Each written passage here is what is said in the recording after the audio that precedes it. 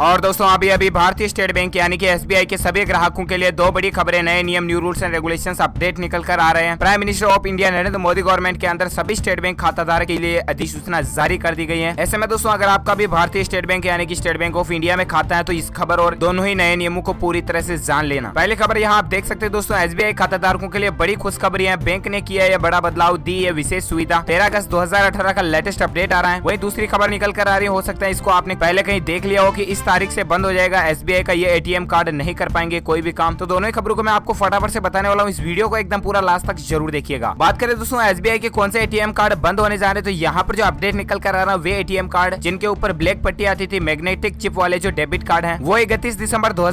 के बाद काम करना बंद कर देंगे ऐसे में आप अपने नजदीकी बैंक ब्रांच में जाकर के उन एटीएम कार्ड को चेंज करवा ले पहली खबर तो ये रही दोस्तों और दूसरी खबर खुशखबरी निकल कर आ रही सभी भारतीय स्टेट बैंक खाताधारकों के लिए तो अगर आप भी फायदा लेना चाहते हैं तो इस खुशखबरी को भी जरूर जान लीजिए लेकिन दोस्तों वीडियो की तरफ आगे बढ़ने से पहले अगर आप डी एल एस न्यूज पर पहली बार विजिट कर रहे हैं तो इसी तरह की काम की खबरें हर रोज आपके मोबाइल पर अपडेट पाने के लिए आप वीडियो के नीचे दिया गया लाल बटन फटाफट से उस पर क्लिक करके अभी सब्सक्राइब कर लेना पास में मिलेगा एक छोटा सा घंटी का आइकन उसे भी जरूर दबा देना ताकि आप हर एक काम की खबर का अपडेट सबसे पहले पा पाएंगे इसके अलावा दोस्तों आप जीत सकते हैं डीएलएस न्यूज की तरफ से एक अमेजिंग और सरप्राइज गिफ्ट आपको लिखना है सवाल का जवाब इस वीडियो के नीचे कमेंट बॉक्स में कि सभी बैंकों का बैंक किस बैंक को कहा जाता है वीडियो देखने वाले जिन लोगों में से जो इसका सही जवाब दे पाएंगे और रेंडमली सिलेक्ट किए जाएंगे डीएलएस न्यूज टीम की तरफ से और आप जीत सकते हैं mobile computer internet tools gadget वगैरह कुछ भी अमेजिंग और सरप्राइज गिफ्ट बात करें एस के कौन सी कुछ खबरें निकल कर आ रही है भारतीय स्टेट बैंक के सभी ग्राहकों के लिए तो यहाँ पे पीएम मोदी गवर्नमेंट के अंदर एस ने बड़ा नया नियम बदलाव किया है दोस्तों आप सभी को पता होगा की जुलाई के अंतिम सप्ताह में एस के एम रिटेल और डिजिटल बैंकिंग की ओर से जारी निर्देश में कहा गया की मौजूदा समय में पचास हजार रूपए एक दिन में कैश जमा करने आरोप खाताधार को अपने पेन की कॉपी बैंक में जमा करानी होती थी और पैन कार्ड न होने पर फॉर्म सिक्स